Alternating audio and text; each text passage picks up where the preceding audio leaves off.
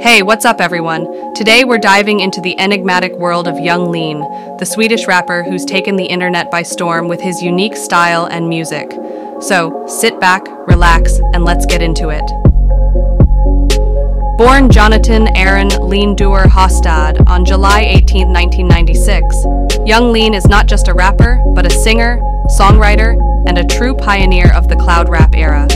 Widely cited as one of the most influential figures in this genre, Lean rose to prominence in 2013 with his viral hit Ginseng Strip 2002.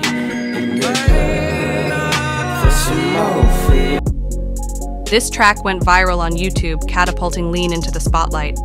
Later that same year, he released his debut mixtape, Unknown Death 2002, followed by his debut studio album, Unknown Memory, in 2014. Yung Lean's journey began in 2012 when he met Yung Sherman and Gud in a local Stockholm park.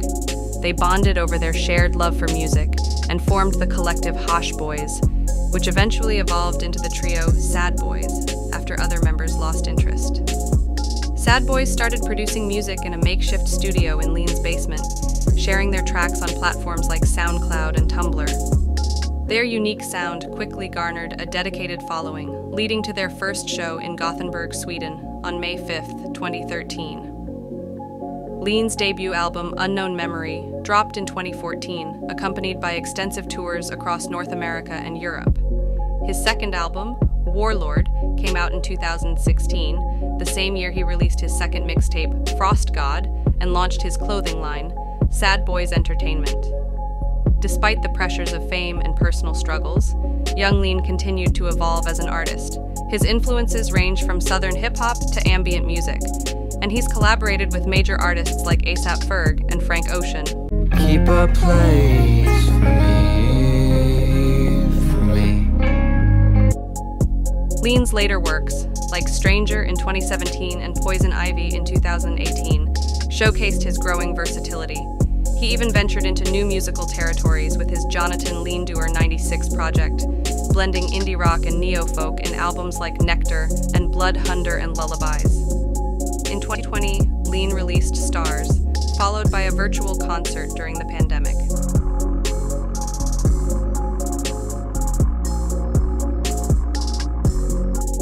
His creativity continued to shine through with the documentary Yung Lean in My Head, which premiered in cinemas and gave fans an in-depth look at his career and personal challenges.